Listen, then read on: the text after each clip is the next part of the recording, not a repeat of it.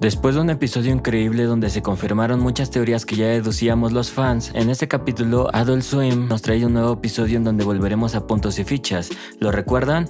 El segundo capítulo de la segunda temporada en donde vemos el juego de Roy, que literalmente es un simulador de vida. Pues en este episodio estamos dentro de esta simulación y vemos a unos chicos que están haciendo desmadre afuera de una tienda, hasta que son regañados por el dueño y lo curioso es que todos tienen la voz de Morty. Llega uno de ellos y les da un folleto de que Roy está diciendo que todos son sus nietos así que algunos van al lugar y efectivamente es Rick, que está intentando decirle a todos que son Mortis, porque al parecer Morty entró a jugar y su mente quedó repartida entre todos los habitantes del juego. Y vemos que Summer lo despierta en la vida real ya que en puntos y fichas hay un ataque terror.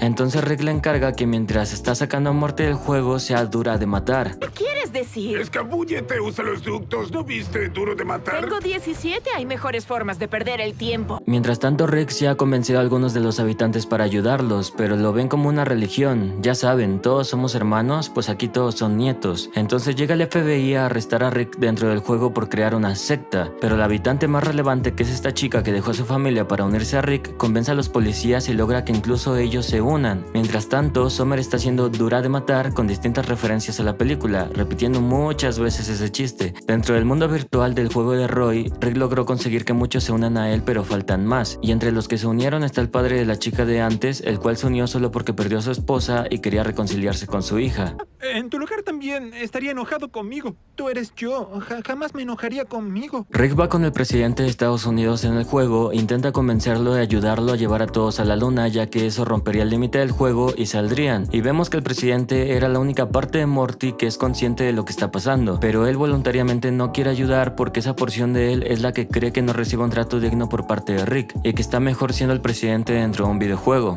¿Qué quieres heroína? Todo se vale en un videojuego. Entonces, gracias a esto, los demás presidentes de las naciones dentro del juego entran en conflicto y deciden ya no apoyar la causa. Así que para convencerlos después de lo que vio que le dijo el presidente, la chica le pide a su abuelo que les diga que los quiere. Oye, aunque te cueste decirlo, ¿por, qué te quedas callado? ¡Púdrete! ¡Ya verás! ¡Ya haya guerra! Como Rick no pudo decir eso, se arma una guerra mundial dentro del juego, la cual es guiada por la chica en contra de Roy, pero nunca logra matarlo, así que solo se rinden quedando todo destruido. Pero como ya ha pasado mucho tiempo, esta chica ya tuvo una hija e incluso su padre fallece. Así que toma la decisión de ayudar a Rick a hacer lo que él quería, pero le dice que solo tiene una condición que veremos después. Mientras tanto, Summer es acorralada y amenazada con matar a Rick y Morty que siguen inconscientes, y aplica la misma escena que el final de Duro de Matar. Se pega una pistola a la espalda y justo cuando iba a usarla, Justo a tiempo, abuelo. Rick y Morty salieron del trance y mataron a esos tipos. De hecho, uno de ellos hace algo muy raro y les ayuda un poco. Gracias por liberarme. Y vemos que la condición que le dijo la chica del juego, que se llamaba Marta, es que ella pudiera quedarse a vivir el resto de su vida ahí. Así que Rick la cumple y deja una batería infinita en el juego y pide que la almacenen tal cual está.